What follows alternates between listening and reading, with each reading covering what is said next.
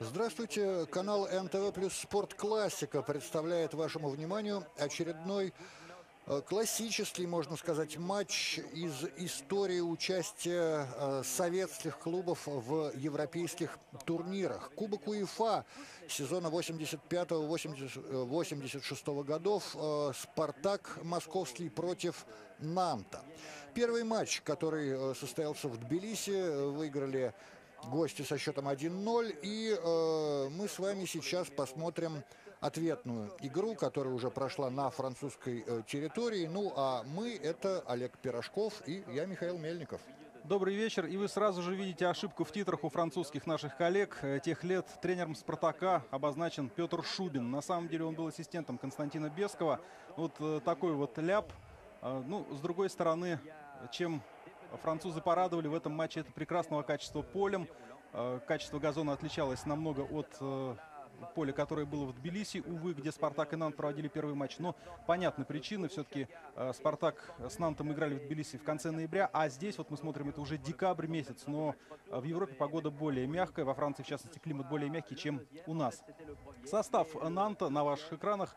Ну, мы еще раз э, поговорим о том, кто вышел с первых минут. Всех футболистов вам назовем и о некоторых из них расскажем чуть подробнее. Тем более, что вот среди тех, чьи фамилии вы видите на своих экранах, есть люди, которые потом стали известны и как тренеры тоже. Ну а тренером э, Нанта в то время был э, месье Жан-Клод Сиодо и месье э, Гельмут Коль, э, арбитр, хотя, наверное, скорее Гер, Гельмут Коль, э, австрийский судья. Австрийская бригада обслуживала э, матч ответный 1-8 финала Кубка УЕФА того сезона. Да, про Австрию мы не случайно упомянули, чтобы вы ненароком не подумали, что канцлер Германии обслуживал этот матч. Ну, так, это в плане шутки. Команды уже готовы выйти на поле. Перед «Спартаком» в этом матче стояла очень сложная задача. Нант был на ходу. И надо сказать, что в лице Нанта «Спартак» получил соперника команду, которая, в общем, была очень похожа на него по стилю и манере ведения игры. Но, пожалуй, вот на этот отрезок сезона французы были посвежее. Это и неудивительно. У «Спартака» был за плечами очень э, длинный и сложный сезон. А команда в чемпионате Советского Союза заняла второе место. Николай Петрович Старостин, э, начальник «Спартака», по этому поводу так с иронией э, выразился, что нас поздравляют, говорят о нашей стабильности, но в этой стабильности уже некий укор видится, потому что «Спартак», долгое время занимая места в тройке призеров, никак не может повторить свой чемпионский успех 79 года. Вот так вот сказал Старостин. Ну и пока вы э, смотрите, как команды готовятся э, начать игру, очень красивый антураж, 50 тысяч зрителей на стадионе Ле Божуар, цветы от футболистов Нанта спартаковцам, мы вам э, скажем, что э, совсем скоро, буквально через полминутки, у нас будет возможность вернуться э, в первый матч в Тбилиси и посмотреть наиболее интересные моменты той встречи с оригинальным комментарием великого Ката Махарадзе.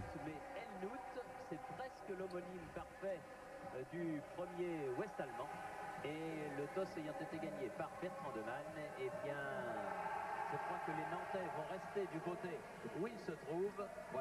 Le côté qui leur avait porté chance au tour précédent contre le partisan de Belgrade, c'est-à-dire que Jean-Paul Bertrand Neumann, par rapport aux caméras, va se trouver à gauche.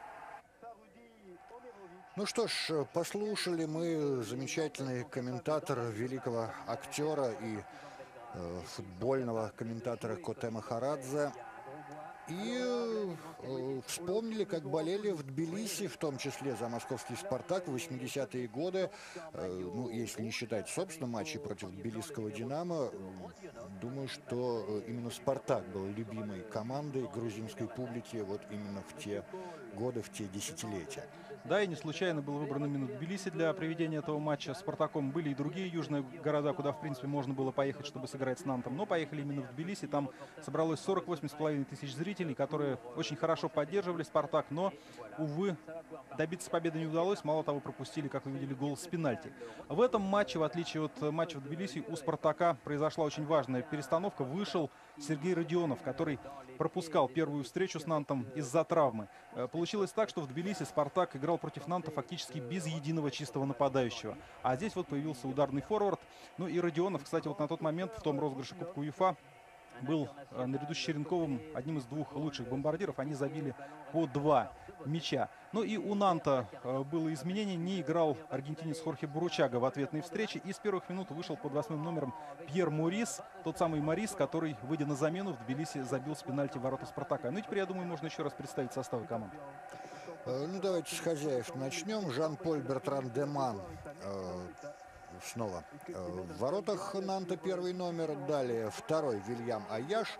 Третий Кшиштоф э, Франковский, наверное, по-французски следует его фамилию произносить все-таки, несмотря на польское происхождение. Четвертый Ивон Леру. И вот э, первая опасная атака Нанта правым краем, но э, подставлена нога, мяч уходит на угловой. Под пятым номером Мишель Дерзакарьян, шестой Винсан Брасильяно, седьмой Фабьен Деботте, восьмой Пьер Морис, девятый Вахид э, Халил Ходжич, десятый Жозе Туре и одиннадцатый Лойк Анис. И э, Жан-Клод Сиодо, Сиодо по-прежнему на тренерском посту, на тренерском мостике, скамейке как хотите. Спартак обороняется. Угловой хозяевам успеха не принес. Вот, может быть, контратака у нашей команды получится. Сейчас набирает скорость Родионов. Он под 11 номером, но э, паса ему не последовало. Через правый фланг продолжается атака Спартака. Это Черенков, навес. И мяч выбивает из штрафной. По-моему, это был Вильям Аяш. Состав Спартака. Ренат Досаев в воротах под первым номером. Он капитан команды в поле. Второй Альмир Каюмов. Третий Борис Кузнецов. Четвертый Сергей Новиков. Пятый Александр Бубнов. Шестой Сергей Шавло. Седьмой Евгений Кузнецов. Восьмой Геннадий Морозов. Девятый Юрий Гаврилов. Десятый Федор Черенков. Одиннадцатый Сергей Родионов. И главный тренер «Спартака» Константин Иванович Бесков. Ну и с той, и с другой стороны, действительно очень много людей, которых мы уже теперь знаем совершенно в ином качестве, связанном с, фу с футболом, так или иначе. Э, капитана французской команды, э, я вам не назвал, это тоже голкипер, э, тот самый Бертран Деман, который защищал ворота сборной Франции на чемпионате мира 1978 года. Бертран Деман, JPBD, как называли его комментаторы, во Франции, в Англии. Так вот, этот человек, легенда Нанта, всю свою карьеру провел именно в этой команде. Более 500 матчей провел. Ну и э, вот этот сезон стал одним из последних для него э, как действующего футболиста. Закончил он карьеру в 87 году, а я напомню, что мы смотрим э, с вами матч, который состоялся 11 декабря 85 года. Газон, кстати, очень хороший для, для декабря, хотя Нант это, в принципе, север Франции. То есть там зима э, вообще не теплая. Там ну, снег даже бывает иногда. Вот э, то, чем отличалась эта игра от матча в Тбилиси. Э, при всем уважении к гостеприимным хозяевам, Константин Бесков после матча с Нантом, который состоялся в Тбилиси, отметил, что качество поля, может быть, не позволило Спартаку показать все лучшее из его арсенала, но были и другие причины, и о них мы по ходу матча поговорим. Так или иначе будем проводить параллели с первой игрой между этими командами. Сейчас Каюмов не дал мячу далеко отскочить за пределы штрафной. Альмир Каюмов, э, которого мы сейчас в наше время знаем как футбольного арбитра, обслуживает матчи российской премьер-лиги. Вот в то время он был молодым и подающим надежды защитником «Спартака». Ему был 21 год всего. Ну а вот э, Гельмут Коль сейчас собирается первая, первую санкцию вынести уже, которая будет занесена в протокол матча, желтая карточка. Желтая карточка и получает ее Федор Черенков. Мы говорили о том, что Бертран Деман, легенда Нанта, но и, наверное, лишний раз подробно не стоит напоминать о том, что значил и значит в истории Спартака Федор Черенков. Ну и у нас э, пауза в игре. Вот давайте еще раз посмотрим, что там на самом деле э, стряслось. Ну, здесь легенда Спартака действительно сыграла доста достаточно грубо, и э, Франковский э, вот нуждается в такой достаточно серьезной помощи врачей. Тогда еще не придумали э, на носилках сразу выносить игроков за пределы поля, поэтому вот такая долгая довольно пауза. И тогда, между прочим, не прибавляли так педантично судьи к основному времени те минуты, которые были затрачены на а, лечение травмированных. Ну, конечно, добавляли, но не так, как сейчас. Ни по 4, ни по 5 минут такого и в помине не было. Вот будет интересно понаблюдать, сколько на самом деле Гельмут Коль прибавит к первому тайму. Ну и, соответственно, не было правила, что если игроку помощь оказывают, то он обязан покинуть хоть на какое-то время пределы поля. Поэтому Франковский снова в игре. И э, сейчас э, Досаев с Борисом Кузнецовым разыгрывает мяч от своих ворот. Спартаку надо отыгрываться, напомним. Минус один гол по итогам тбилисского матча. Ну, атака не получилась совсем. Мяч просто выкатывается за пределы поля. Пьер Морис бросает аут назад. Это ответный матч 1-8 финала Кубка УЕФА. И э, стоит сказать о том, что «Спартак» начал свои выступления в этом розыгрыше матчами с э, финским клубом ТПС в 1-32 финала. Дважды победил 1-0 дома. Мяч забил Черенков и 3-1 в Турку. Родионов, Новиков у «Спартака» отличились. И еще один мяч э, финны забили сами себе.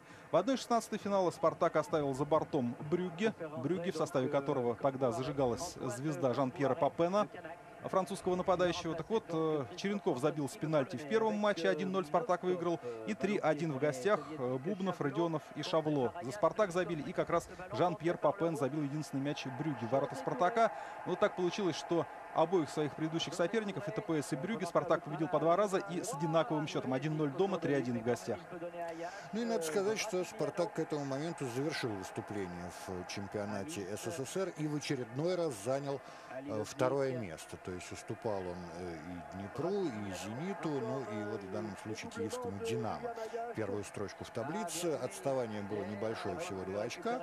Но, э, тем не менее, опять совсем немного не хватило до чемпионства московского Евгений Кузнецов от собственной штрафной начал атаку «Спартака». Теперь длинная диагональ на Родионова. Он там был один в борьбе с французским защитником. И к тому же еще один французский футболист страховал своего партнера. Ну и э, что там показывают э, игроки Нанта. Игра остановлена и, э, может быть, замена нужна. Может быть, Кшиштоф Франковский и не сможет продолжить матч. В общем, э, повреждение было довольно серьезное. Он, правда, похромал, похромал и э, вернулся в игру. Но посмотрим, как все будет. В самое начало матча. И тогда, напомним, еще один нюанс. По две замены только можно было проводить.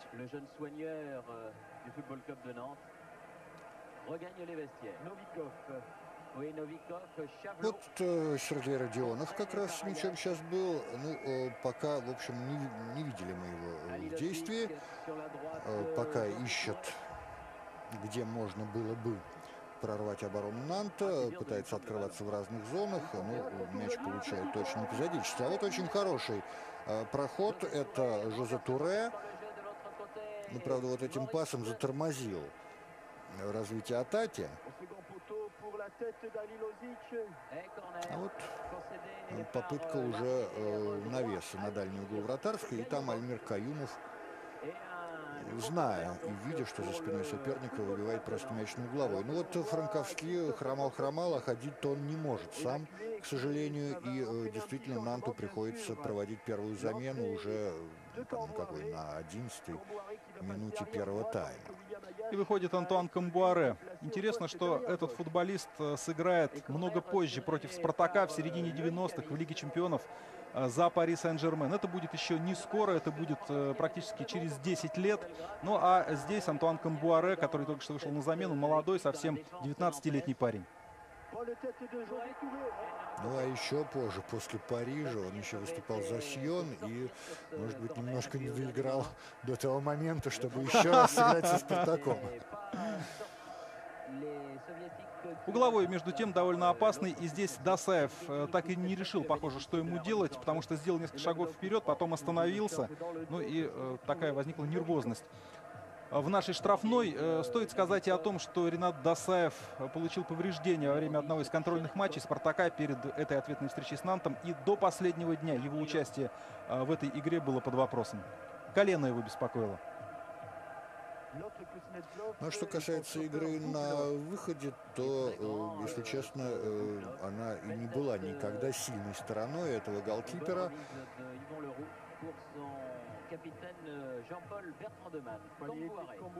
Камбуаре на правом фланге обороны своей команды. Да, и бедняга Франковский, он этот матч не доиграл до конца и э, выбыл на довольно продолжительный срок. Ну а во Франции в разгаре был национальный чемпионат. В то время Родионов с мячом. Можно было Черенкову, может быть, попытаться вернуть э, мяч, но Родионов другое развитие атаки предпочел. Борис Кузнецов. И снова Родионов. Кстати, про чемпионат Франции. Да, вот ты упомянул, э, Нант был к этому моменту шестикратным чемпионом страны, но вот после своего последнего титула неизменно э, занимал второе место. Э, и в этом смысле как раз со Спартаком параллельно они в своих национальных турнирах двигались. Вот до этого матча, да, по-моему, и в этом сезоне тоже и те, и другие стали вторыми. При том, что и Нант, и Спартак показывали очень зрелищный футбол. Ну, так часто бывает. Чемпион по качеству игры не всегда оказывается чемпионом э, в прямом и в самом таком главном смысле, не всегда занимает первую строчку.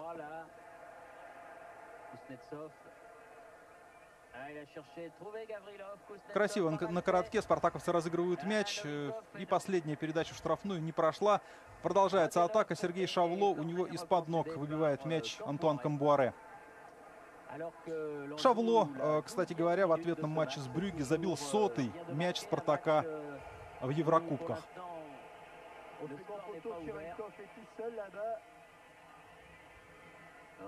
Часто спартаковцы разыгрывали угловые именно таким образом, не старались. э, навешивать, там бороться вверху, а вот именно короткий розыгрыш. И, кстати, белистские динамовцы тоже часто делали в те годы именно вот такое исполнение стандартов, э, ну, э, ни к чему не привел в данном случае. Э, ни к чему не привела эта попытка. Нант отбился, причем там за счет индивидуальных действий. Бразильяну отобрал мяч, и спокойно Нант уже начинает свою атаку. Французы играют очень осмотрительно. Э, понятно, что они танцуют прежде всего от результата первого матча. Но это вовсе не значит, что они э, собираются прижиматься к воротам. Команда играет на своем поле при 50-тысячной э, аудитории. И команда, как мы уже говорили, на ходу. У нее есть своя хорошо поставленная игра. Ну и несмотря на то, что потеряли одного из игроков основного состава, был травмирован Франковский. И несмотря на то, что не играет Буручага, все равно Нант это очень опасный соперник, очень серьезная команда. А Спартак, так, по крайней мере, пока кажется, Спартак еще никак не может почувствовать игру вот в такой полной мере. Э, есть этому оправдание. У нас-то сезон уже завершился. Спартак э, старался как-то поддержать форму. Команда отправилась в Западную Германию для того, чтобы сыграть несколько товарищеских матчей. На самом деле, как потом признавал Константин Бесков, эта идея себя, может быть, не очень оправдала, потому что играть пришлось на плохих очень полях. То в снег, то на гаревом поле, то на раскисшем почти на болоте. Играли с командами любительскими, низкого класса. Ну и вот, э, в общем, форму как следует э, поддержать не смогли. Да еще и Досаев травмировался. Ну, сейчас э, досмотрим атаку Нанта. Удалось не дать сопернику сходу войти в штрафную спартаковцам. Туре делает передачу в борьбу, сам подхватывает мяч. Еще дальше. Ну, а у Аниса из-под ноги мяч выбили. И что теперь здесь? Аяш, еще один э, игрок сборной Франции. Ну, это не удар. Конечно, э, по крайней мере, удар не опасный, кроме того, очень неточный. Э, так вот, Константин Бесков на самом деле очень любил, конечно, сначала сам принимать решения, а потом эти решения критиковать с таким видом, как будто это кто-то заставил его э, делать. И вот э, у меня такое ощущение, что в данном случае это было именно так. Как, кстати, ощущение, что разговор насчет не самого лучшего поля в Тбилиси, это все-таки была скорее такая отговорка, как поиски оправдания за поражение.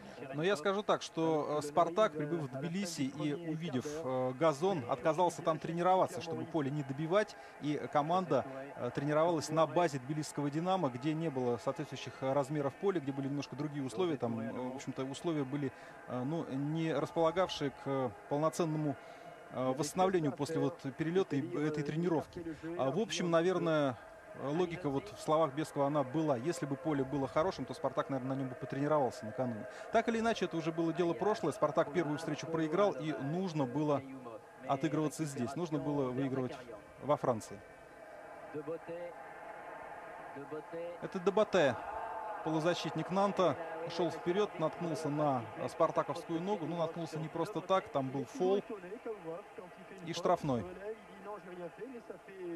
Пока игра, в принципе, равная, может быть, чуть больше владеют мячом французы, но э, мы видели, что у Досаева пока серьезной работы не было. В то же время спартаковцы уже несколько раз доходили до чужой штрафной. И, э, в общем, вот при такой игре как раз они могут ждать своего шанса. То есть не ждать, а создавать его есть люди. Пьер Морис э, пробил э, поворотом. Штатный исполнитель стандартов э, в Нанте Э, тех лет, ну, скажем так, один из. Ну, а э, фол, из-за которого случился штрафной, допустил Альмир Каюмов. На повторе вы прекрасно видели, как он въехал по ногам сопернику. Каюмов с самого начала своего э, пребывания в «Спартаке», пребывание которое, в общем, долгим-то не получилось, к сожалению, э, зарекомендовал себя как очень жесткий защитник. И вот в том составе, пожалуй, он был одним из самых бескомпромиссных игроков. И просто так мяч никому не уступал, вырывал с мясом. Ну, во встречах с французскими командами это, в общем, очень даже пригодилось Спартаку. Э, ну, э, и вообще чемпионат Франции еще не был настолько заполонен тогда игроками с африканского континента, но тем не менее, э, наверное, был одним из самых жестких в Европе, по крайней мере, если брать в расчет вот ведущие страны. И ну, мы видели, как уже и Черенков, в общем, э, играл, скажем так, не очень мягко против своего оппонента, э, делая подкат сзади. Ну, а Каюмову сам Бог велел. Шавло с мячом. Пока не слишком заметен в составе «Спартака» Юрий Гаврилов. А Гаврилов, э, кстати, сетовал на то, что «Спартаку» пришлось переходить с искусственных полей на естественное в конце сезона. Ну, э, не то чтобы он был бы рад так и доиграть чемпионат э, на коврах в Олимпийском. Нет, просто констатировал факт, что другие группы мышц задействованы, когда вот играешь на естественных, к тому же осенних полях. И Гаврилов признавался, что после первой же тренировки «Спартака» в Тбилиси, а, а перед этим «Спартак» три матча провел э, в Олимпийском на искусственном газоне. Так вот, после первой же тренировки очень заболели ноги. Может быть, это одна из причин того, что в Тбилиси Спартак не показал своей фирменной игры.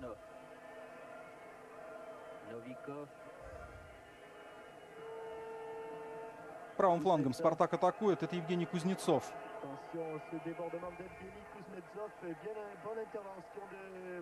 Спокойно отбились французы. Ну, правда, вот здесь передача э, прямо ноги сопернику. И может у Спартака получится второй темп атаки. Опять Шавло. Теперь он слева. Перед ним Камбуаре. И подкат угловой. Еще один спартаковцы заработали.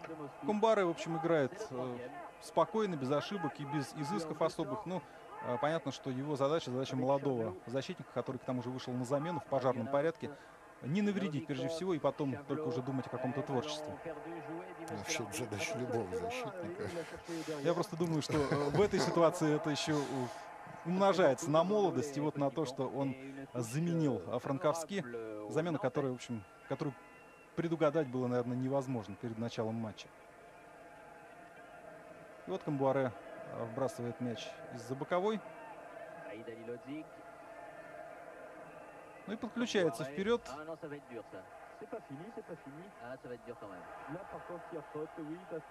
Морозов жестко против него сыграл. И какое там решение судья принимает. Еще один штрафной австрийский арбитр Коль назначает в сторону ворот Спартака. На этот раз Геннадий Морозов не слишком чисто сыграл. Собственно, мы говорили, вот, что Каюмов жесткий, ну а Морозов, что разве мягкий был защитник? Тоже умел э, сыграть на грани фола. Э, ну, если уж по фамилиям называть, то потом э, Александр э, Бубнов, он настолько хорошо вписался в оборонительную линию московского «Динамо», состоявшую из самых знаменитых костоломов в истории советского футбола. Ты имеешь в виду автоген и косу? Да-да-да. Вот, но мы не будем э, раскрывать, так немножко интригу сохраним. Может быть, кто-то не знает, кому принадлежали эти прозвища. Просто сейчас у нас Спартак играет. Вот будет играть Динамо. Если посмотрим, то тогда, может быть, поговорим и об этом. Спартаковцы начинают атаку от своих ворот. Нант не особенно прессингует. Ну вот здесь в центре поля уже наблюдается такая достаточная плотность. Посмотрим, что получится у москвичей в этой атаке. Черенков не получает мяч. Ошибка при передаче на коротке.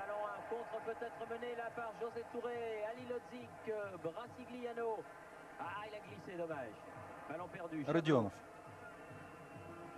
И снова Федор. Черенков. Вот Гаврилов очень красиво, но, к сожалению, неэффективно.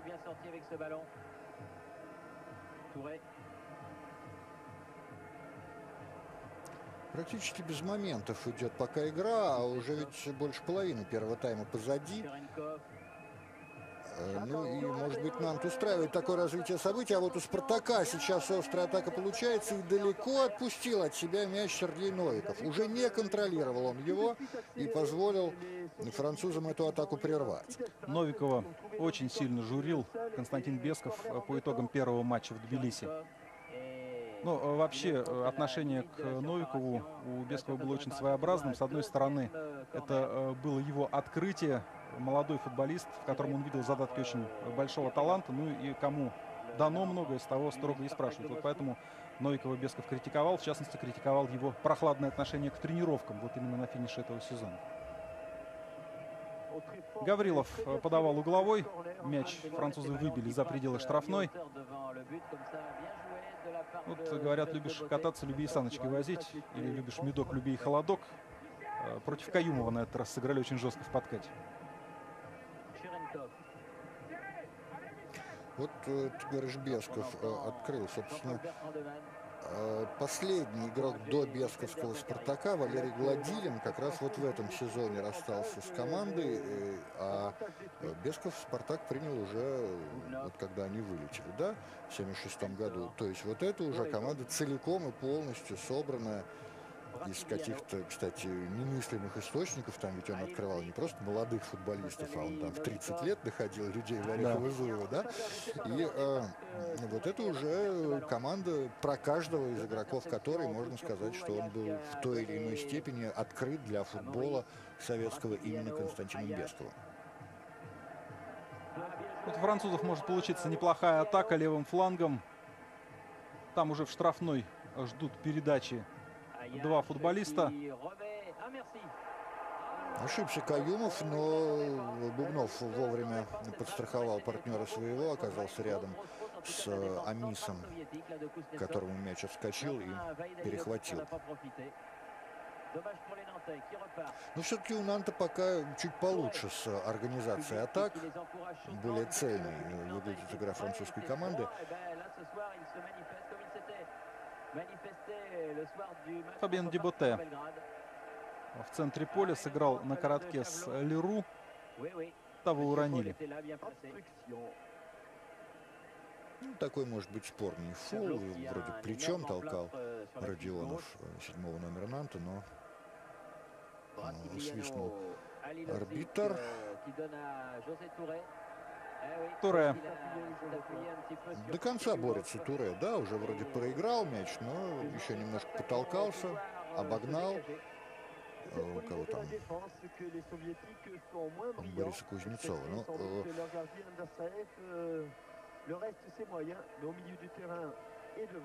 было нарушение, да, по-моему, или нет? Или это так, по катящемуся мячу от ворот Досаев выполнил удар? Сергей Новиков пас вперед, но приходится возвращаться назад. Морозову а, сыграл с Бубновым. Евгений Кузнецов. Пошел, пошел в обводку, от двоих э, сумел ускользнуть, но вот э, третий французский футболист выбил мяч. Тогда были другие времена, и вот э, мы смотрим на состав Нанта и считанное количество легионеров. Там находим Франковский, он имеет французский паспорт, тот самый, который получил травму. Есть Вахид Халилходжич, который как раз в этом сезоне закончил выступление за сборную Югославии провел свой последний 15-й матч э, в ее составе. Ну и... Э... Который тоже, в конце концов, французский да, получил. Да, да, да, да. Вот. И, француз... и аргентинец э, Буручага не играет сегодня. Вот, собственно говоря. А так все остальные французы. Ну и никаких легионеров не было. И, позволю себе сказать, и быть, наверное, не могло в составе российской, советской команды тогда. regarde ah jouer son fiston, c'est Madame euh, Ayash. Elle ne manque pas un match, bien sûr, du fiston. Вот э, иногда похоже э, такое ощущение, да, по первому тайму, который мы смотрим, что вспоминает Спартак, что надо ему все-таки отыгрываться. И вот как раз в эти моменты нам-то очень осторожно действует, отходя всей командой, всеми десятью полевыми игроками э, довольно глубоко на свою половину. Ну вот два таких было отрезка, так по 3-4 минуты. Но в целом, конечно, э, все-таки Нант владеет территорией. И вот очередная атака. Но опять это не слишком опасно. Так, в общем, мы не увидим сегодня. Вот, пока во время нашей этой исторической трансляции, какой хороший вратарь был Ренат Досаев. ДБТ пробил, но там мяч попал в ногу полевого игрока Спартака. Терял скорость. Это Бубнов. Борис Кузнецов пасует вперед и э, транзитом через судью Коля. Мяч приходит к Сергею Новикову. Ну, он, Новиков-то хорошую передачу делал Черенкову, а вот почему-то Федор ну, то ли что-то задумал совсем уж э, такое хитрое, э, пропустил мяч дальше, может, хотел его догнать уже там, за спиной последнего защитника, но этот вариант не прошел. Жан-Поль Бертран Деман, э, Миша уже сказал, что он был вратарем сборной Франции на чемпионате мира 78, но а, тот чемпионат для него сложился неудачно, как, впрочем, и для всей французской команды. Она не вышла из группы, но это ладно. Бертран Деман получил очень серьезную травму спины в матче против Аргентины. Отбивая мяч, ударился спиной о штангу, ну и вот э, был заменен. И тогда получилось так, что ворота сборной Франции защищал в ключевом матче группового турнира. Э, вышел защищать вратарь, который изначально котировался как третий или даже четвертый номер в сборной. Это Доминик Барателли. Ну, э, кстати, вот не вышли тогда французы, но, э, не знаю, на мой вкус, это был э, самый лучший вообще в истории чемпионатов мира групповой турнир, когда в одной четвертой сошлись э, Аргентина, Италия, Франция и Венгрия. И все четыре команды вполне заслуживали быть э, э там, не знаю, в, ну, ну, по крайней мере, там, в шестерке, да, лучших команд мира, но... Ну, по поводу венгров, может быть, оговорку можно сделать. А тогда? Там, там же тоже, у венгров тоже были неприятности, потому что удалили ни за что Теречика и э, Нилыша в первом же матче и, и были они дисквалифицированы на второй. Поэтому венгры, может быть, там не показали действительно, что были тогда способны. Ну, даже и без венгров, и то, эта группа сейчас э, просто мечтать могут о, о таком, э, те любители футбола, которые ездят на чемпионаты мира. Да, тогда, о таких группах. Э, тогда хозяева не получали каких-то поблажек вот при э, жеребьевке, при рассеивании команд. И э, получилось так, что у аргентинцев, хозяев чемпионата, действительно была очень сложная группа. Мы, собственно, вот этот экскурс в историю затеяли еще и для чего? Чтобы вам напомнить о том, что сборная Франции тогда была очень мощной командой. Вот эта мощная команда родилась, по сути, на чемпионате мира 78, хотя и не добилась там ничего. Но потом она набирала силу. Матч проходит в 85 году. Французы к этому времени э, заняли четвертое место на чемпионате мира 82 и являются действующими чемпионами Европы. Вот такой серьезный соперник у Спартака. И в этом составе Нанта есть футболисты национальной сборной Франции, те же Леру и Аяш. Удар по воротам, да и Туре тоже, конечно же. Ну и вот Досаев вступил в игру. Э, ты говорил, что ему не приходится демонстрировать мастерство. Ну вот, э, наконец, первый опасный удар. Давайте посмотрим еще раз после атаки правым флангом. Ну и вот, э, судя по действиям Досаева, ощущение, что для него этот удар не опасный. Хотя, посмотрите, как головой здорово в нижний угол переправлял мяч игрок Нанта, но э, с какой легкостью, с какой грацией э, Ренат этот мяч достает. И э, вот именно такие его действия очень важны были для э, партнеров по команде, как и всегда. Именно от голкипера, именно от последнего человека должна исходить вот, э, этот заряд уверенности, что все надежно, все хорошо. Полчаса команды сыграли в первом тайме, пока ничья 0-0. Ничья, которая, напомним, на руку французскому клубу. Он имеет преимущество после того, как победил в Тбилиси. Туре. Туре и Амис сыграли на коротке. И теперь уже поджимает нашего защитника Антуан Камбуаре. Это Борис Кузнецов. Он уйдет из «Спартака» и потом вернется в команду уже при Олеге Романцеве. Rozov qui avait même attrapé euh, Ami Sokolé. Novikov. Novikov. Borozov, le voilà. Et il était venu de loin. Собственно, э, по поводу Бертрана Демана мы тоже можем сказать, что пока мы не могли убедиться, насколько он хорош. Да, э, потому что где-то что-то вот рушится у Спартака даже еще до завершающей стадии атаки. Не последний, а предпоследний или предпред. Leroux, Последний пас, или в борьбу, или там просто э, какое-то недопонимание между партнерами. Ну, э, здесь попытка навеса, но, в общем, один человек всего штрафной, и то прикрыт. Так что опять нет момента голевого. pas très net, mais c'est sûr qu'il y a eu une petite poussette euh, Досаев от своих ворот начал комбинацию Спартака. Сергей Новиков с мячом. Гаврилов э, с Бубновым играет. Новиков.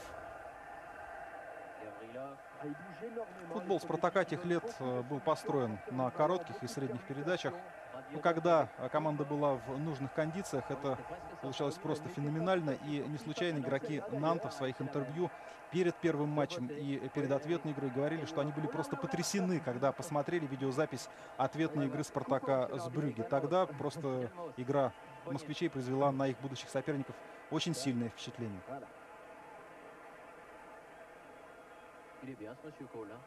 Il est très bien. Il a quelques petits problèmes de crampons. Э, На самом деле, э, вообще для французов, э, ну вот мы считали, да, что вот французский клуб достается в соперники, это как бы соперник серьезный. Во Франции считали то, то же самое про команды из союзного чемпионата, потому что уже вот в последующие годы, э, ну вот момент мог возникнуть у Спартака, но немножко не точна. Передача последняя, Родионов не успевает. Так вот, и коллеги, да, журналисты, и, э, ну просто знакомых я спрашивал, как вот тогда, что вы думали про киевское «Динамо», про «Спартак», про «Динамо Тбилиси»? И, э, может быть, э, это, э, это ну, были еще какие-то исторические реминесценции, да, потому что долго СССР был закрытой страной, и еще когда только у Реймса там у какого-то были первые контакты, вот, может, они наложили какой-то отпечаток. Но, в общем, чемпионат э, э, СССР считался, э, во Франции, по крайней мере, за другие страны не скажу, э, действительно одним из ведущих. И вот тот же «Спартак» э, Нантом воспринимался как очень м, серьезный конкурент. Опасный штрафной у ворот хозяев. Подача, ну, довольно легко Да, обороняется а подача не опасная оказалась. Ивон Леру выбил мяч э, за пределы штрафной. Теперь позиционная атака Спартака. Гаврилов. Ils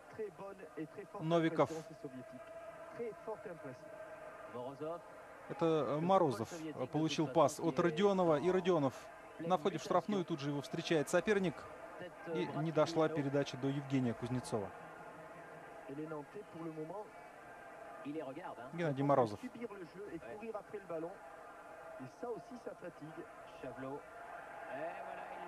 Потери, и у Нанта есть возможность быстрый контратвет организовать. Э, Но здорово играет Каюмов, здорово и на этот раз абсолютно чисто в подкате. Это Черенков, вот, э, вот это его игра. Практически на месте, да, э, стоя на месте, заставляет соперника бегать вокруг себя, а мяч от него прячет, как, не знаю, конфету от малыша. Лой Камис перевел мяч на противоположный левый фланг. Туре на Брасильяну.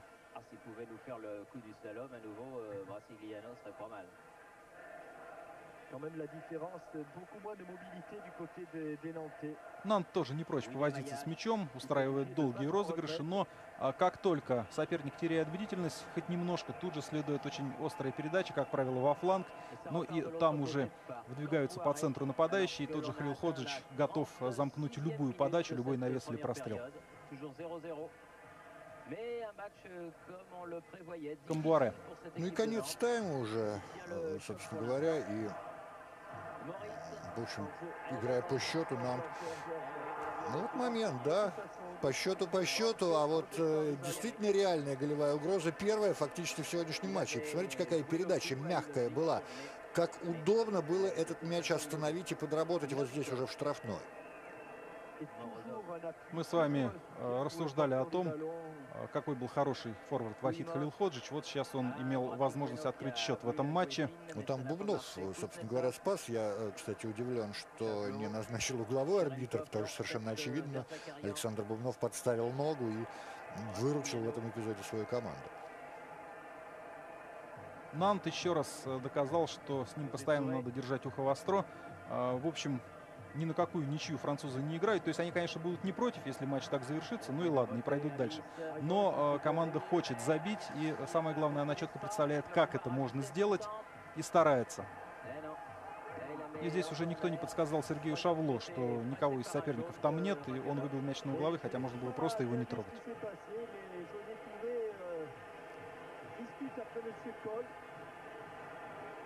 Allait se présenter au second poteau et puis on l'a vu Вот так вот даже поцеловал мяч, прежде чем выполнять удар от угла поля французский футболист. Ну вот э, очередная э, ошибка Рената Досаева на выходе. Ну, как очередная? Вторая, да, в сегодняшнем матче. Э, но там рядом партнеры оказались. Слишком много было игроков перед бьющим, чтобы мяч мог беспрепятственно пройти в ворота. Это Сергей Родионов вынужден ждать партнеров. Ну вот э, поддержка есть. Шавло еще можно дальше направо. Нет, Шавло удерживает мяч у себя, разворачивает атаку по центру передача. И будет угроза воротам.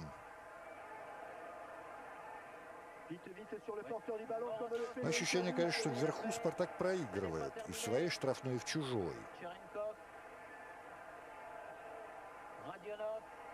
Шавло с мячом был, получил пас от Черенкова, рядом находился Каюмов, но э, дальше налево, конечно, не было смысла пасовать, надо было обострять. Сергей Шавло и попытался это сделать, но слишком много там было французов. Вот это может обернуться неприятностями. Нет, э, Каюмов перехватил пас и не отказал себе в удовольствии даже чуть-чуть почеканить мячом. Et.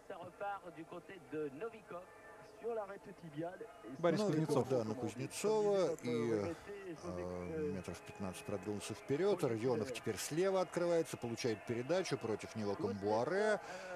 И мяч уходит только от кого? Э, успел... Нет, уже за линией коснулся мяча Антуан Камбуаре и будет удар от ворот. Камбара не проигрывает практически единоборств. Мы уже говорили о том, что его скорость и здоровье позволяют ему возвращаться очень быстро назад, даже после вылазок на чужую половину поля.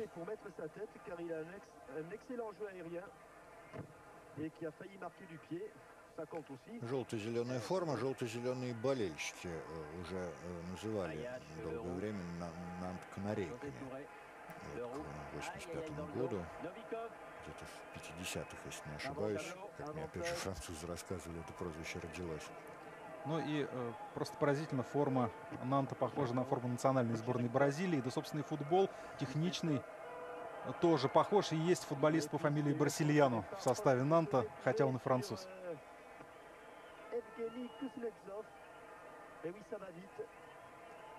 Было нарушение. Мяч возвращает арбитр э, спартаковцам. И э, Юрий Гаврилов, естественно, там. Но, возможно, отсюда прямой удар будет поворотом, да? Стенка пока явно не на том расстоянии стоит, на котором она должна находиться.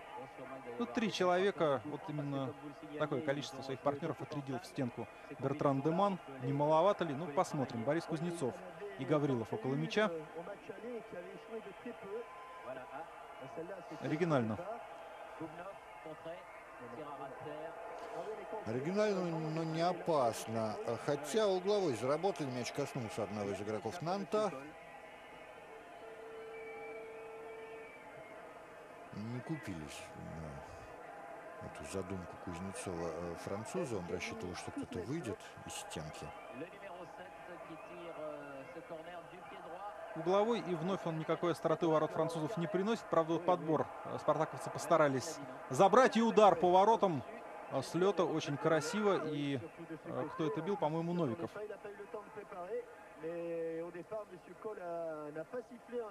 Ну, тут, кстати, было так неприятно для вратаря, если мяч попал в створ. Уже вроде вышли из обороны французы. И тут оборотка такая. Ну, Бертран Деман не торопится. Последние минуты первого тайма.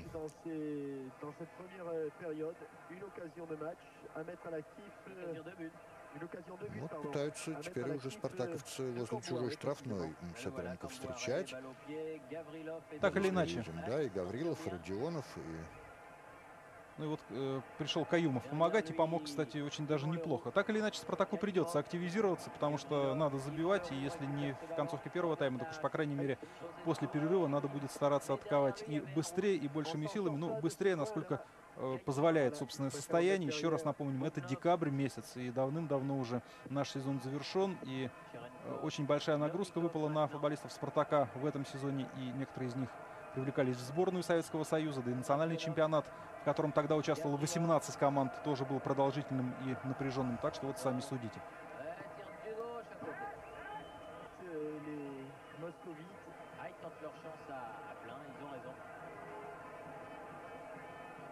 Вот уже за мячом сами бегают спартаковцы, чтобы как-то ускорить процесс. Хотя это всего лишь конец первого тайма. А Спартаку надо один гол забить, чтобы уравнять ситуацию по сумме двух матчей. Mais dans ce cas de figure, on le choisit. Mais dans ce cas de figure, Вот я разглядел на трибуне французских э, фанатов флаг Великобритании, что бы это значило. Там был французский триколор и британский. Морис готовится пробить штрафной. Скидка была неплохая на Туре, но дальше продолжить атаку ему не дали. Гаврилов. Юрий Гаврилов на тот момент э, был лучшим бомбардиром Спартака. В Еврокубках э, забил уже 18 мячей. Новиков. Очень хорошая передача. И вот едва Гаврилов не оформил свой 19-й мяч. Там был, конечно, рикошет, который создал вот эту вот остроту. Мяч поскакал по перекладине. Ну что ж, да еще одна странно, опасная да, атака. отбивал Бертран Деман. Вот. Действительно, ему здесь сложно, но вот вроде уже достал мяч. А он...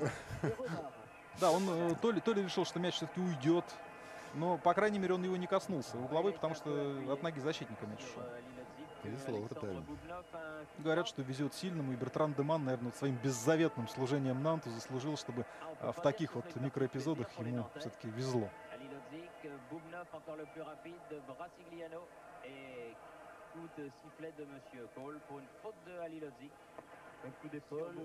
Опять мяч э, у спартаковцев будет. Бубнов здесь э, разыгрывает с, э, с Морозовым. Тут штрафной возвращается мяч к Бубнову, а тот разворачивается лицом к своим воротам. Ну, вот в конечном итоге это к ошибке приводит.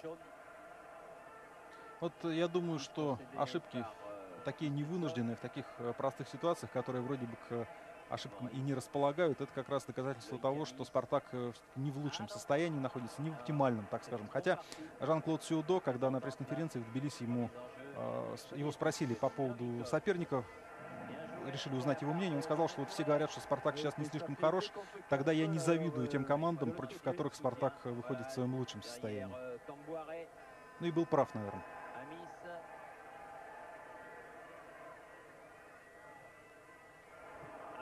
Шавло.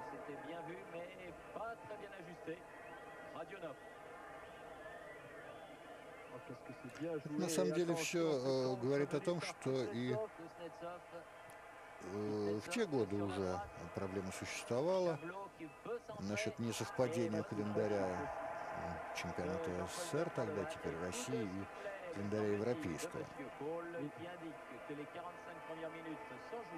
Ну и все, первый тайм завершен. 0-0 в матче Нант-Спартак на стадионе Ля Божуар в Нанте. Спартак мог э, в концовке первого тайма отличиться, но и у Нанта была, по крайней мере, одна стопроцентная голевая возможность. 0-0 э, и посмотрим, что нам принесет второй тайм. Спартаку, напомним, надо обязательно выигрывать, надо забивать, чтобы э, проходить дальше в четвертьфинал Кубка УЕФА. Le Grand Canari, supporter donc du FC Nantes. c'est cette nouvelle un petit peu politique de mascotte qu'il y a dans le football français. Vous aviez vu à Multifoot... Ну, таким образом развлекались в перерыве, развлекали болельщиков в Нанте. Пока отдыхают футболисты, здесь и оркестр, здесь и не группа поддержки, да, но тем не менее какая-то группа макрокукольная. Э, ну, а спартаковцы уже на газоне, готовы к началу второго тайма. По-прежнему ситуация такова, что им нужно один мяч отыграть. Для того, чтобы э, добиться права продолжить эту игру уже в дополнительное время. Гигантская канарейка, которая забила гол, покидает поле. И сейчас игра возобновится. Наверное, имеет смысл назвать составы команд. Еще раз их для вас озвучим. Ну и э, теперь с Спартака. Начнем. Ренат Досаев в воротах под первым номером э, в поле. Да, и вот э, наши болельщики, видите, красные советские флаги. А, так вот, Досаев в воротах под ну, первым номером. Кстати, э, это не выезд был, я все-таки боюсь. Это люди из посольства. Мне, те, мне те, тоже так кажется. Тем или иным образом оказались э, по работе, по делам э, в середине 80-х во Франции. Да, так вот, Досаев в воротах капитан команды, в поле второй Альмир Каюмов, третий Борис Кузнецов, четвертый Сергей Новиков, пятый Александр Бубнов, шестой Сергей Шавло, седьмой Евгений Кузнецов, восьмой Геннадий Морозов, девятый Юрий Гаврилов, десятый Федор Черенков и под одиннадцатым номером Сергей Родионов. Константин Иванович Бесков, главный тренер «Спартака». Жан-Поль Бертран Деман в воротах французской команды. Вильям Аяш второй номер. Под третьим играл Франковский, но получил травму уже в дебюте матча. Отыграв всего 10 минут, покинул поле. Вместо него вышел Э, под 12 номером Антуан Камбуаре. И играет, вот он, кстати, с мячом на правом краю обороны. Ивон Леру четвертый, Мишель Дерзакарьян пятый, шестой Винсан Брасильяно, седьмой Фабьен Деботе, восьмой Пьер Морис, девятый Вахид Халил Ходжич. Э, вот сейчас он с мячом в центральной зоне. А, в общем, наверное, у него была самая реальная возможность открыть счет в первом тайме, когда фактически один на один он вышел. И э, вмешательство Александра Бубнова спасло «Спартак» от очень больших неприятностей.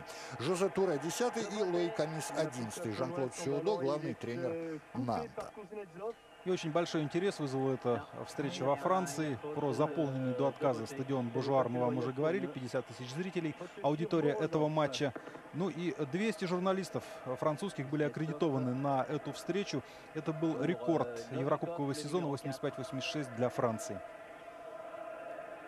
Вот ты углядел британский флаг, а мне сейчас показалось, что уругвайский. Там, правда, солнышко было не совсем правильное, но, э, в общем, по цветам и по конфигурации э, очень было похоже на флаг Республики Уругвай.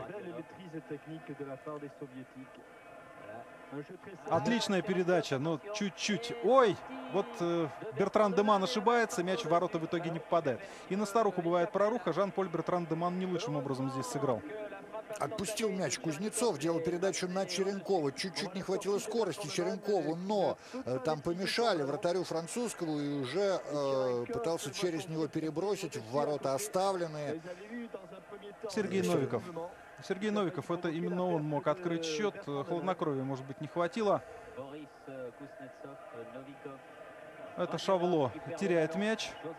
Жозе Туре в первом матче против Спартака в Тбилиси Жозе Туре играл с травмой. И после того, как гости наладили игру и во втором тайме стали гораздо реже Спартак подпускать своим воротам. Футбол у Нанта пошел. Э, рискнул даже заменить Туре Жан-Клод Сиудо в той игре. Ну и здесь вот Туре снова в стартовом составе. И свои болячки он, видимо, залечил. А вот Нанта атака и, в общем, такая спартаковская атака в короткий пас. Двое-троих обыгрывали и едва-едва дело не дошло до удара поворотом. Ну, э, вообще выгодно отличается от первого тайма, начала второго. Э, острее гораздо заиграли и те, и другие. Шавло проиграл единоборство. Попытался рвануться вперед э, Вильям Аяш. Защитник, который очень любил и умел подключаться к атакам. Э, игрок обороны, ну, такого современного, что ли, э, плана. Латераль, как сейчас их называют. Причем ему, насколько я помню, было, в принципе, все равно, где играть, справа, слева, неважно. А в сборной Франции, собственно, все такие защитники были, да, у Идальго. Тот же Домерк, да, благодаря которому, собственно, Франция и выиграла чемпионат Европы, который неожиданно вдруг превратился в главного бомбардира.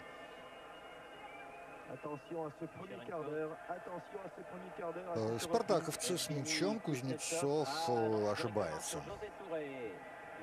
Кузнецов э, подарил мяч Жозе Туре. Жозе Туре на тот момент действующий олимпийский чемпион 84 -го года в Лос-Анджелесе. Ну, да, а... кстати, вот мы еще не сказали, да, да мало того, что чемпионат Европы. Да, еще они еще и, Олимпиаду выиграли, конечно. Э, у нас ну, просто этой Олимпиаде очень мало внимания уделяли, ну, точнее, вообще никакого не уделяли, потому что соцлагерь туда не поехал в ответ на московский бойкот. Но футбольный турнир там был едва ли не самый интересный за все вот последние олимпийские соревнования в финале Франция с Бразилией сыграли.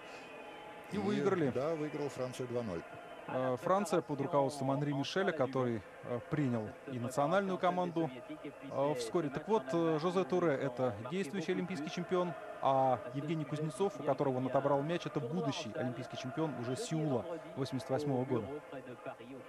Хотя вот я сказал действующий... Который об этом еще не знал. Да, да, да, да поэтому почти отобрал. Да. Я, я сказал действующий. Наверное, такого понятия нет. Олимпийский чемпион это раз и навсегда, это на всю жизнь, и бывших их не бывает.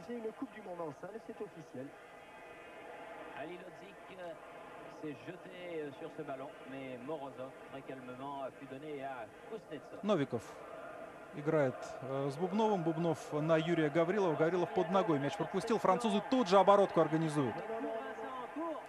Несколько ошибок Гаврилова э, мы видели. Ну, э, в чем дело, Олег уже рассказал. Но вообще-то вот в те годы как раз это родилась поговорка. Авторство Константину Бескову приписывают, да, что не знаю, что делать с мячом, отдай его Гаврилову. Дальше уже были разные вариации, и другие фамилии использовались, но э, вот как раз среди болельщиков советских именно тогда в ходу эта фраза появилась. Так или иначе, но э, вскоре, через некоторое время, Гаврилов вынужден будет покинуть «Спартак». В общем, э, там конфликт э, такой скрытый э, с Бесковым. Он, в конце концов, вот вылился в этот уход Гаврилова. Ну и был вариант с отъездом за рубеж, а в итоге пришлось переходить в Днепр. Но много лет спустя, возглавив э, команду «Асмарал», Константин Бесков позвал туда уже, э, наверное, не Юрия Гаврилова, а Юрия Васильевича Гаврилова, и э, он был э, ведущим игроком этой команды в те недолгие сезоны, когда «Асмарал» э, выступал в высшей лиге. Нант идет вперед. Халил Ходжич показывает, что он не прочь и в подыгрыше действовать, и принять участие в развитии атаки, а не только в ее завершении. А это Сергей Новиков сыграл на своего тезку Шавло. Шавло дальше на левый фланг. Слишком сильно, слишком сильно, чтобы Родионов достал этот мяч. Мне кажется, Родионов просто не подстроился ни в шаг ему, да, а была эта передача, вот, если бы не переступал с ноги на ногу, успел бы он подработать. Камбуаре, который вышел на замену по ходу матча, ну, в самом начале первого тайма, именно он сейчас был с мячом. Нант, э, после того, как была вот эта пятиминутка, команды обменивались атаками встречными туда-сюда. Нант э, показывает, что он и темп э, может так позбивать. Но и вот моментально, то, о чем мы говорили в первом тайме, как только нарисовалась возможность сделать передачу в свободную зону, туда пас последовал, и здесь небольшая стычка даже возникла. У нас Геннадий Морозов получил небольшое повреждение, потому что соперник слишком уж размахивал руками и попал ему в глаз, по-моему. Морозов. Стеночка не прошла на этот раз. Луи Камис, это вот именно он конфликтовал э, с Морозовым. Сейчас э, сделал не самую лучшую передачу.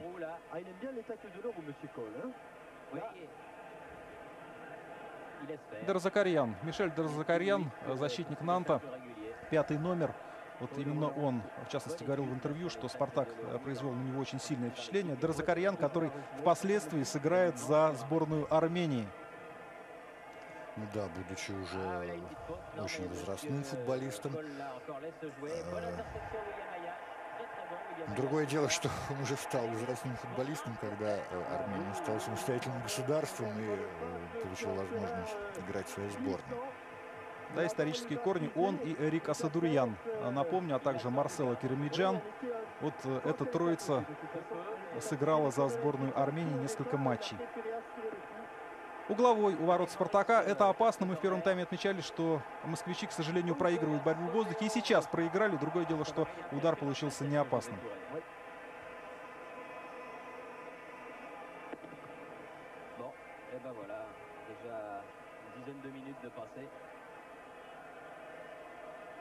Вот э, тоже, кстати, уже второй раз в этом матче э, мы видим, и вот буквально сейчас вспомнил, что очень часто Досаев по катящемуся мячу выполнял удар от ворот.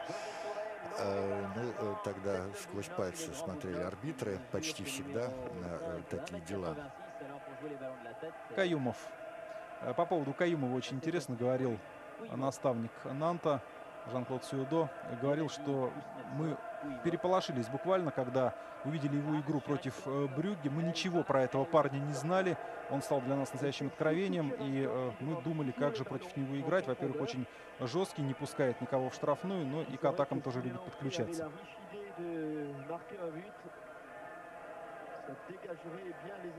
На контрасте с Каюмовым все-таки имена лидеров «Спартака» были известны в Европе. И э, таким вот откровением игра Гаврилова, Черенкова, конечно, стать не могла для того же Родионова. Родионов, э, здесь ему 23 года, очень молодой футболист, но ведь у него за плечами уже чемпионат мира в Испании.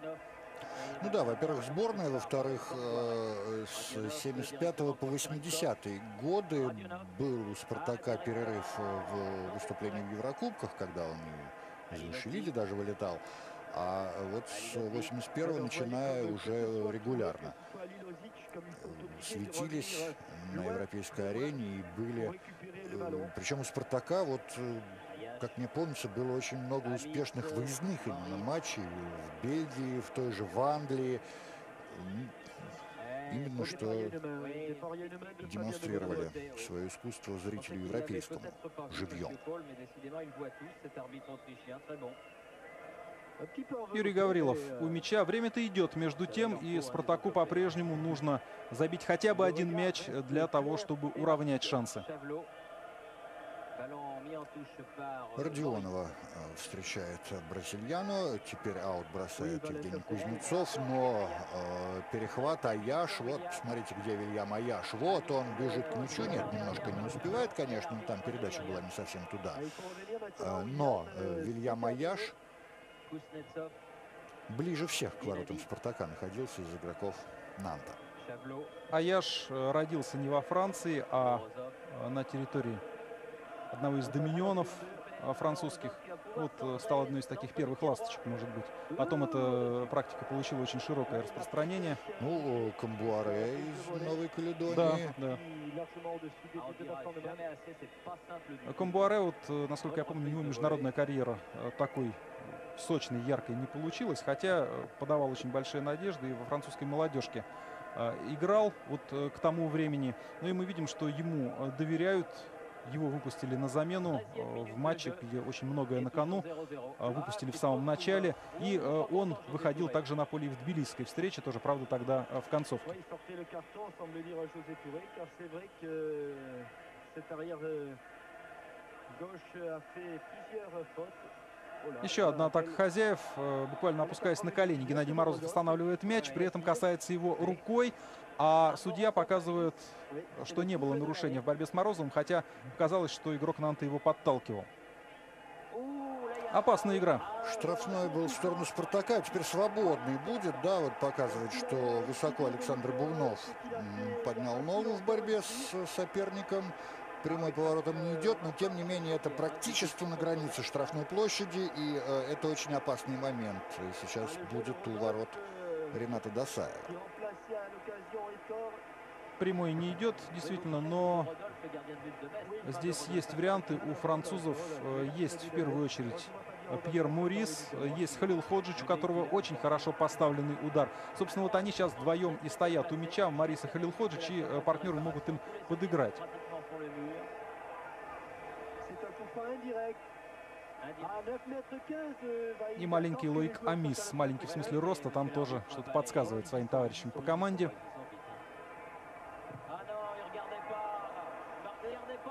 И Пробил э, Морис, э, правда, угодил в ближнего спартаковца.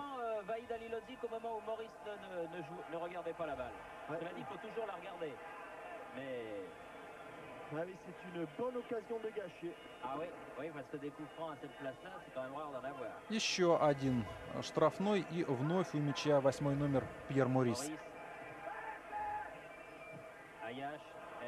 Бубнов мяч выбил, а здесь от Нади Аяши он уходит за пределы поля. Ну, э, еще вот о чем мы не сказали. Кубок УЕФА ведь в те годы был э, очень представительный турнир, не в пример теперешнему, да, который все хотят реорганизовывать, но не знают как. Э, вернее, знают, но неизвестно, к чему это приведет. Э, Потому что ведь э, только чемпион представлял э, свою страну в Кубке чемпионов. Ну и вот э, так, чтобы далеко за примерами не ходить, на стадии 1-8 финала вот этого розыгрыша, да, вот параллельно с матчем Нан-Спартак играли. Милан играл, Интер играл, Мадридский Реал играл. Кстати, была там замечательная пара с Гладбахской Боруссией, когда э, 5-1 дома Гладбах выиграл. Э, Тогда была очень серьезная команда, все еще э, гремевшая в конце 70-х, но еще сохранявшая свою силу. Но Реал дома взял реванш 4-0 и прошел дальше. Спортинг Лиссабонский, э, Кёльн, Атлетик Бильбао. Ну, в общем, было все в Кубке УЕФА в иные годы, в том числе вот в этом сезоне, может даже и поинтереснее, чем в Кубке Чемпионов. Да то есть не может, а наверняка. Красиво играют французы. Здесь одна передача пяткой, другая. И вот Амис уже входит в штрафную Спартака по левому флангу. Пас! Очень опасно было. Морозов успел помешать удару. Халил Ходжич Да. на острие. Я говорил о том, что Халил Ходжич э, сыграл 15 матчей за э, сборную Югославии, не так уж и много, но он забил в них 8 мячей. Средняя результативность, сами понимаете, очень приличная. А, ну и тогда все-таки поменьше было товарищеских матчей, вот тех, которые шли в реестр э, FIFA, официальных таких. А, ну и поэтому, может быть, вот э, он сыграл меньше, чем мог бы сыграть. Очень опытный игрок. Э, Здесь вот э, в том матче, который мы наблюдаем, Халил Ходжичу уже 33 года. Да, собственно, то, что он легионер, это говорит как раз о том, что ему уже лет немало. Почему? Потому что из Югославии просто так молодым уехать было нельзя. Это все-таки была соцстрана. И, насколько я помню, в то время ценз был 28 или 29 лет для того, чтобы уехать за рубеж. А Халил Ходжич играл очень долго за клуб Велеш из Мостера.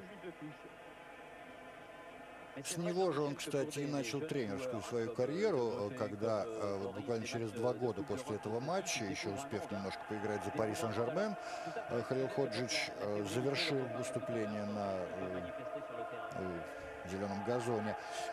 И два года снова у себя на родине, в Югославии, работал тренером. А потом вся его карьера складывалась или во Франции, или в провинциях французских, бывших типа Марокко. Э, ну и, собственно говоря, один из самых э, известных тренеров 90-х и уже 2000-х годов. Спартак атакует. Перед этим некрасиво сыграл Жозе Туре. Ударил по ногам Альмира Каюмова. А, ну а с мячом Евгений Кузнецов сейчас у Спартака. Гаврилов, Евгений Кузнецов. Нет, вернуть мяч партнеру не удалось. Амис. Хорошая передача и хорошее открывание Халил Ходжича. Он в штрафной. Пытается обыграть Бориса Кузнецова. Падает в борьбе с ним. Ну и вот э, если бы партнер Халил Ходжича, а это был Винсан Брасильян, если бы он не размахивал руками и не призывал судью дать свисток, назначить пенальти или там штрафной, если бы он сразу пошел на мяч, то, наверное, мог бы и продолжить очень опасную атаку своей команды. Новиков Жозе Туре убирает от него мяч. И очередная атака Нанта. Камбуаре на правом фланге. Не против него Каюмов. Амис. Обыгрывать Бубнова не рискнул.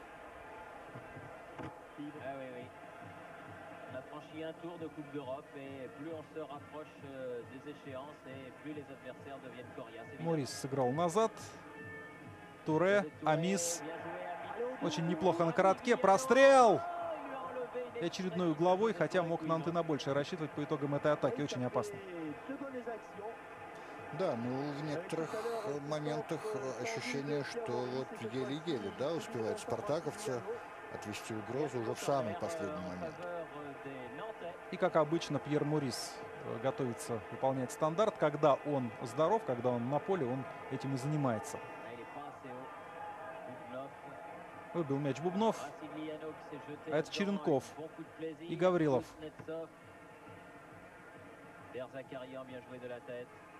Нет, не дали контратаку Спартаку провести. И мало того, опасный выход э, мог бы быть, да, у ДБТ к воротам Досаева, но на самый угол штрафной вышел капитан Спартаковский и там забрал мяч.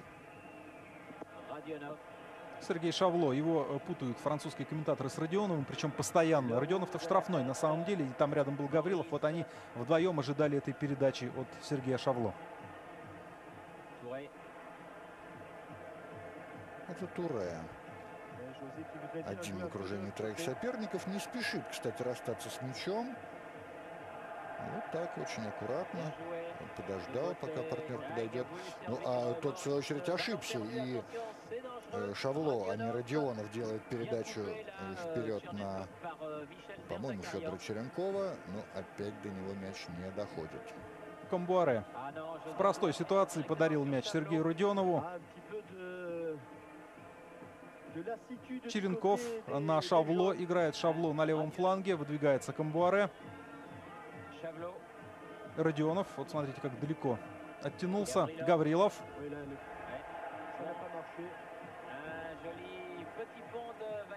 Здесь Халил Ходжич зацепился за мяч, удержал его у себя. И опасная контратака Нанта. Вильям Аяш совершенно один. Входит в штрафную. И до удара поворотом дело не доходит.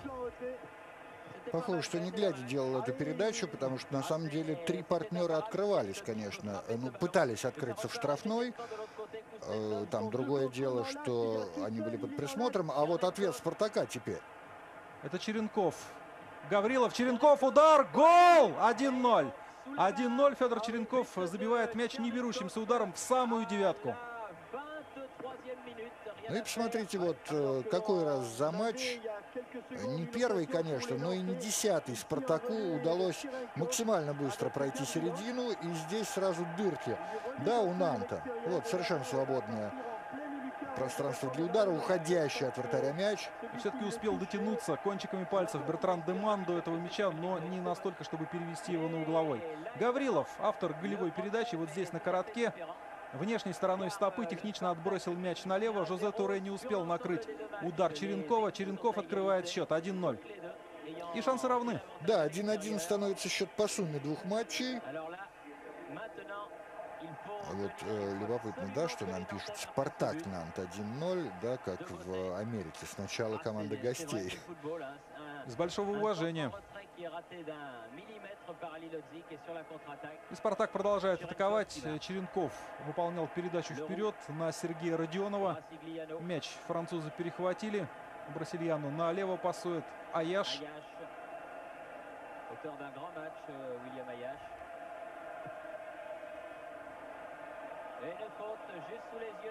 Там нарушение было все-таки. Подталкивал спину Бубнов, но э, помогает подняться. Нарушил правила против Пьера Муриса. И сам Мурис э, будет подавать, очевидно, в штрафную. Есть кому сыграть головой у Нанта. Навес последовал. Удар и мяч в воротах. 1-1. Очень быстро отыгрался Нант очень быстро, и мы будем смотреть повтор. Я думаю, вы согласитесь, что Ренат Досаев э, вновь сыграл не лучшим, наверное, образом. Он пошел вперед и остановился в полупозиции. Вот смотрите еще раз, там борьба в воздухе, и как раз вот этих э, полутора метров, которые шагнул, которые преодолел Досаев, шагнув вперед, ему потом и э, не хватило. То есть не дотянулся до мяча. Жозе Туре забил этот гол. Туре, которому не впервой огорчать советские клубы. Еще на рубеже 70-х, 80-х Туре играет за Нант, будучи совсем э, зеленым э, футболистом, ну там ему было лет, наверное, 18 или 19, он забивал ворота московского «Динамо». Но теперь забил «Спартаку». Ну и э, видели, да, э, зажженные зажигалки в огромном количестве на трибунах. Это вот такой фирменный, да, фирменный знак боления на стадионе «Бужуар» был у болельщиков Нанта. Может быть, кстати, было у других французских клубов, но тогда, к сожалению, мы видели совсем мало французского футбола, почти вовсе не видели. Так что не могу утверждать определенно. А, ну, э, теперь э, ситуация, кстати, вот по итогам последней пяти минутки стала для «Спартака» получше, э, потому что теперь забитый гол «Спартаку» дают не дополнительное время, а прямой выход в одну четвертую финала. Другое дело, что времени для того, чтобы забить этот гол, остается все меньше и меньше. Я бы еще сказал, что ситуация поменялась в том смысле, что теперь Нанту не нужно самому забивать, и он будет строить свою игру, наверное, по-другому. А если бы счет оставался 1-0, так или иначе французам тоже нужно было бы что-то в атаке придумывать. А так вот они могут играть на эту ничью. Ну а Спартаку обязательно нужно второй мяч забивать. Гаврилов на правом фланге. Передача низом в штрафную. А французы, по-моему, ждали верховой подачи.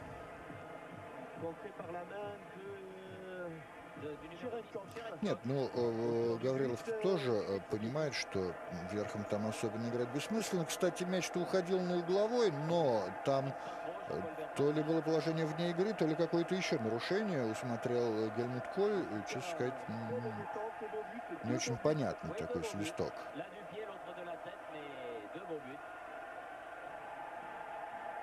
Середина второго тайма миновала, и пока еще ни одной замены не делал Константин Бесков. Э, те 11 у «Спартака», которые начинали этот матч, они игру и продолжают. У Нанта была одна замена, и та вынужденная из-за травмы.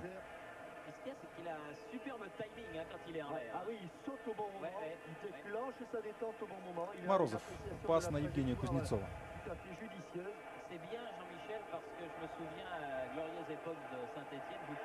Это Борис Кузнецов. Ну, так уже придется спартакцам поторапливаться немножко. После игры э, Бесков сказал, что э, Спартаку не хватило каких-то, может быть, пяти минут для того, чтобы переварить вот этот свой успех, забитый гол, отдышаться, перегруппировать силы и снова повести наступление. Но мы это видели на самом деле, что забив Спартак тут же провел еще как минимум одну интересную атаку. Другое дело, что Нант э, очень здорово использовал микроошибки спартаковцев. Там, помните, ну вот э, подтолкнул в спину Бубнов, Ну хотя вот, мог да, этого не это, делать. во-первых. А во-вторых, гол-то со стандарта, Да, а, а- а стандартная ситуация, ну, в, в любом случае, она как-то стоит особняком, да, вот в общем течении матча. То есть это то, где каждый просто по учебнику должен там или держать своего игрока, или быть там-то и там-то. И тоже, собственно, относится и к голкиперу, который при таком навесе должен выходить, а при другом не обязательно. Ну вот и именно это как раз, я уж не знаю, как сказать, отсутствие школы элементарной, да, казалось бы. А на самом деле ведь так и есть. Подвело вот в этой ситуации Спартак. И пропустили гол очень важный. Собственно, выход в четвертьфинал Кубку УЕФА э, так и остался, по-моему, высшим достижением советских клубов, да? Да, До- вплоть до уже российской непосредственной истории. вообще в этом турнире В было Кубке очень... чемпионов доходили до полуфинала, Кубок Кубков выигрывали э, динамовцы Киева и Тбилиси, а в Кубке УЕФА вот э, это был рубеж последний. Да, и очень сложно было на самом деле преодолеть вот именно этот рубеж 1-8. По одной простой причине, вы прекрасно понимаете, мы об этом уже говорили раза три, наверное, по ходу репортажа. Матч играется зимой, у нас чемпионат уже закончен. Вот эта стадия 1-8 финала была самой сложной для наших команд, наверное, вне зависимости от того, кто был соперником. Тем более, что вот э, Михаил уже называл, перечислял клубы, которые вместе с Спартаком и Нантом продолжали борьбу в Кубке УЕФА на стадии 1-8. Там слабых команд нет практически. Слабых или каких-то таких сереньких. Очень много э, клубов, лидеров в своих странах и э, клубов, которые себе имя давным-давно сделали на европейской арене. Но такое ощущение все-таки, что какая-то свежая кровь Спартаку требуется. Новиков пасовал на Родионова, рядом был Гаврилов, но мяч спартаковцы потеряли. И здесь уже Жозе Туре. Острая передача, и Борис Кузнецов прочитал развитие французской атаки, опередил на мгновение Фабьена Деботе. Последние 15 минут. Теперь уже не будет э, никакого дополнительного времени, потому что Спартак забил, э, потому что Нант забил на своем поле, ну а Спартак дома не забивал. И э, счет уже не повторяется. Ça va très très vite. pratiquement de leur poteau de corner en position de tir devant le but de Jean-Paul Bertrand demain. Et les Nantais ont peur de Торре les с мячом, а Камбуаре побежал вперед поддерживать атаку.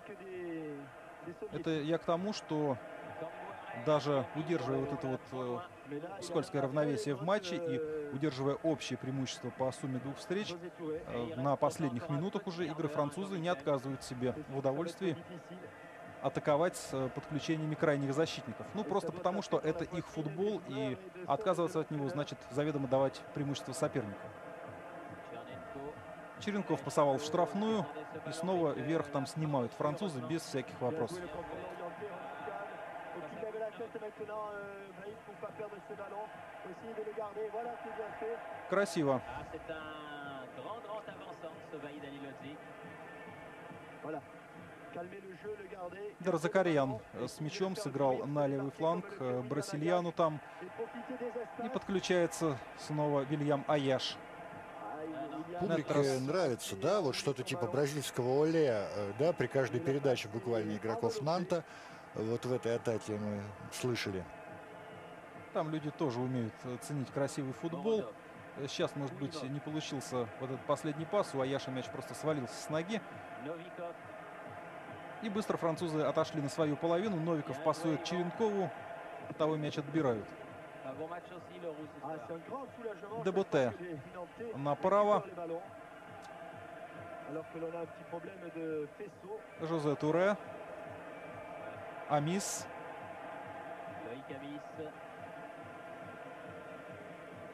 Amis, Слева Брасильяну. Амис. regardé. Передача на дальний угол вратарской. Там никого из французских футболистов не было. И, э, по-моему, нарушает правила Фабьен une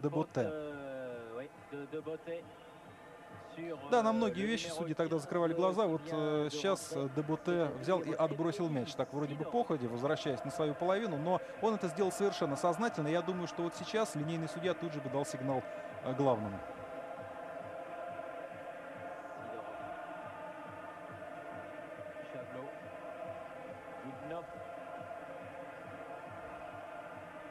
Борис Кузнецов играет с Морозовым. Каюмов подключается к атаке. Вот он там на дальней от нас с вами бровки, а это Родионов. И снова Алимир Каюмов. Хороший очень перехват был. Только вот пас непонятно куда, но э, там, в общем, атаки не могло получиться. А кроме того, по-моему, свисток уже прозвучал. В чью сторону только? Со стороны хозяев было нарушение. Да, вот возвращает Коль игру почти штрафной. А у «Спартака» замена произошла тем временем. Нам вот так ее не показали, но вышел Евгений Сидоров, и он заменил Сергея Шавло. У Сидорова 15 номер на футболке. Э, Сидорова Бесков критиковал после тбилисского матча. Э, сказал, в частности, что он вообще не вписался в игру. Сидоров опытный э, футболист, 29-летний. По-разному складывалось в разное время его карьера в «Спартаке», но был техничным. Но я помню, в частности, что в середине 80-х он забивал в чемпионате Союза гол ударом через себя. До него, по-моему, только Юрий Чесноков это делал. Ну и, и то, когда был больной. И, и, и раньше, в 50-е, так если покопаться, в справочниках были такие э, прецеденты, но очень и очень редко. Сидоров вышел, он атакующий полузащитник. Мы еще раз говорим о том, что, собственно, вот форвардов у «Спартака» было мало. И в Тбилиси вообще играли без э, чистого номинального нападающего. Здесь вот Родионов есть. Ну а так все остальные это игроки средней линии, которые любят и умеют поддерживать атаку. Начиная с Черенкова, ну и, в общем, вот до Сидорова, который вышел не только средние, защитники тоже. Да, и в этом преемственность э, Романцев, романцевского «Спартака» была как раз вот а, от этой команды. Э, и потому всегда у «Спартака» и была, э, и, и были самые большие проблемы в обороне. Ну вот давайте еще раз посмотрим, как пропустил «Спартак» гол. Ну, да, в общем, можно было и помешать пробить каким-то образом. Там просто рядом находился с игроком Нанта защитник. Ну и Досаев. Досаев в этом случае сыграл не лучшим образом, не выручил. Вот ты говорил о том, что у «Спартака» защитники очень любили ходить вперед. Еще одно подтверждение – Сейчас мы видели, Геннадий Морозов э, оказался впереди. Но ну, Морозов, он универсал, он играл и в средней линии, и в обороне. В общем, действительно, вот э, Бесков подбирал людей в свою команду, прежде всего, по принципу того, что как человек понимает футбол, как он умеет мыслить на поле. Ну и вот это был основополагающий критерий. И в таком случае было неважно, откуда игрок там из второй лиги, что ему там 29 лет. Это неважно, если он может заиграть в спартаковский футбол, очень специфический, тогда он достоин быть в команде. Здесь э, стычка произошла небольшая. Вот э, Амис, он маленький да удаленький. А Джазе Туре взял и ударил Бубнова. А тот, по-моему, хочет голову открутить олимпийскому чемпиону. Ну вот играли, играли, и вдруг стенка на стенку. Да, пошли. была, в общем, игра, ну, не скажу, что самая корректная из тех, что мы видели на канале Классика, но, э, по крайней мере, немного было э, именно умышленных, э, умышленно грубых нарушений. А вот тут и прибежал высоченный Ивон Леру, видимо, чтобы придать веса французскому присутствию на этом участке поля. Желтая карточка Бубнову и желтая карточка Жозе Туре. Я все-таки скажу, Туре, он молодец, он забил гол Спартаку, играет здорово через него, большинство атак Нанта строится. Но э, был эпизод, когда он очень грубо э, сыграл против э, Каюмова. И вот сейчас э, здесь он тоже совершенно э, неправильно себя повел и э, первый начал задевать Бубнова. Тот ему потом ответил, конечно, тоже некрасиво, но все-таки при своем мнении остаюсь. Здесь француз провоцировал.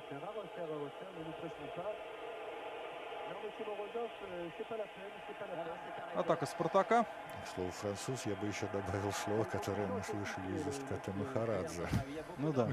в самом начале, когда смотрели фрагменты первого матча. Да, здесь э, вот чувствуется, что нервничают футболисты, и э, Новиков стал отбирать мяч у соперника так очень настойчиво. А дело все в том, что надо повторить штрафной, и стоило ли это вот таких э, нервов.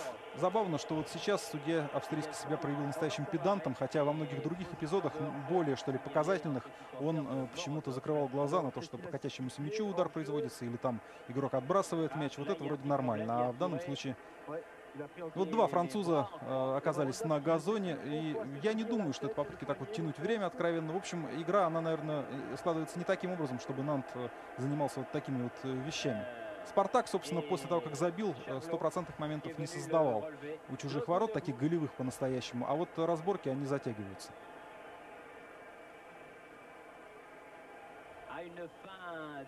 Э, по игре все-таки ощущение, что немножко повезло Нанту, что удалось им так быстро счет сравнять. Э, потому что еще вот, э, действительно, ты вот приводил слова Константина Бескова, еще пять минут, и уже игра бы совершенно другая была у французов, уже им нужно было бы нервничать, потому что время уходило, уже нужно забивать, ну или рассчитывать на дополнительное время. Ну, как случилось, так случилось, да, футбол так. История сослагательного наклонения не знает. И по сумме двух матчей Нант по-прежнему ведет в один мяч. Всего лишь пять минут имели удовольствие спартаковцы э, сохранить равновесие.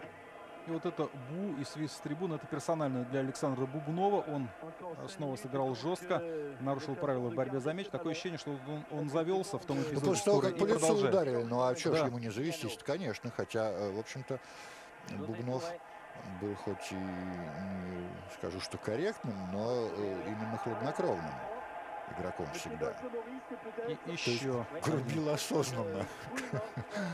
Еще один штрафной. И э, снова вот эта вот э, процедура. Поцелуй дарит мячу э, Пьер Мурис, прежде чем пробить.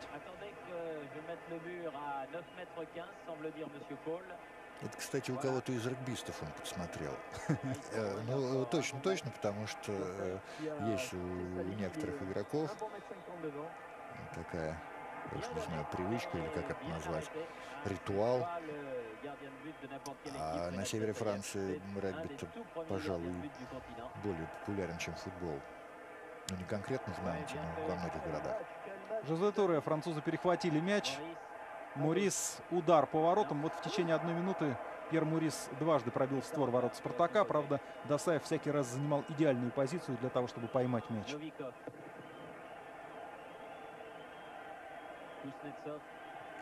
Четыре минуты остается. Длинной э, передачей пытался э, Морозов эту атаку развить, но она не прошла.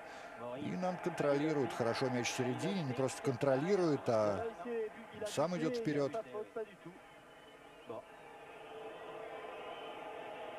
Ну, а Досаеву-то за что свистит французская публика? Досаев там тоже, кстати, принял активное участие вот э, в этих препирательствах, но он э, больше разнимал. Так он как раз, да, пришел успокаивать и там и своих, и чужих. Сидоров с мячом. Пас э, на Новикова. Новиков с Черенковым играет. И попытка Сергея Новикова в касание отправить мяч в штрафную. Сидоров, Родионов. Его по-прежнему французский комментатор называет Шавло. Ну, да, Шавло Родионова. Ну, у него, может, список неправильный там игроков. Но дело-то в том, что Шавло заменен уже. Вот в чем дело. Шавло уже нет на поле вообще. Ну и что, Спартак зарабатывает угловой? Нет. Или, или э, нет, все-таки нет углового. Хотя мы отмечали, что э, розыгрыш стандартов и подача стандартов французам удавались в этом матче куда лучше, чем нашей команде. И совсем мало времени остается.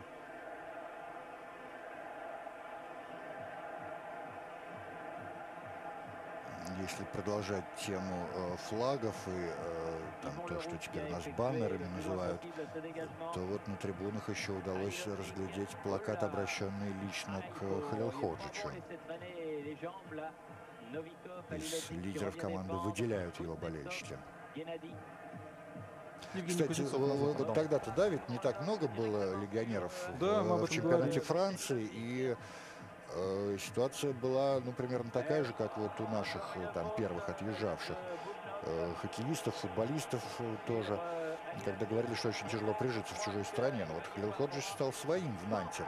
Ну, а вот э, момент очень неприятный. Ну, э, мы говорили о том, что Александр Бубнов э, после того столкновения, в общем, несколько потерял контроль э, над собой. Стал играть жестко. Раз, два встретил французов э, так вот на грани фола. А здесь эту грань переступил, к сожалению, и удаляется с поля. Э, Свалил как раз на Халил Ходжича. Спартак еще в довершение ко всему и в десятером остался. Ну, в общем, э, на самом деле, наверное, не столько значимо это в такой ситуации, потому что играть остается уже меньше двух минут, ну, плюс те вот секунды, да, которые тогда добавляли арбитры, и то из чувства особого расположения. А такого чувства, по-моему, э, Гельмут Коль к Спартаку не испытывает. Каюмов выбил мяч головой за пределы штрафной площади. Евгений Кузнецов пасует вперед. И Спартак переходит в одну из последних своих атак. Сергей Новиков получил пас от Гаврилова. Переводит э, налево мяч. Там был Родионов. Гаврилов в центре штрафной. Э, Ну, здесь-то угловой будет. Кстати, очень рискованный был подкат. Уже в пределах штрафной. Могли спартаковцы пенальти в этой атаке заработать. Другое дело, как бы арбитр отреагировал, если бы было нарушение.